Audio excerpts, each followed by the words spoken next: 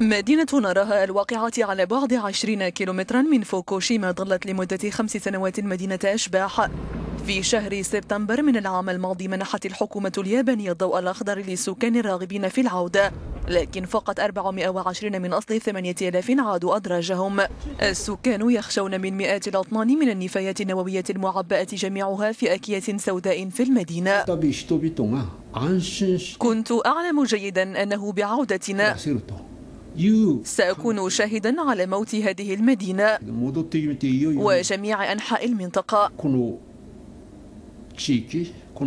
لقد أصبحت مكانا غير آمن لا يمكن للسكان العودة والعيش فيه بشكل مريح.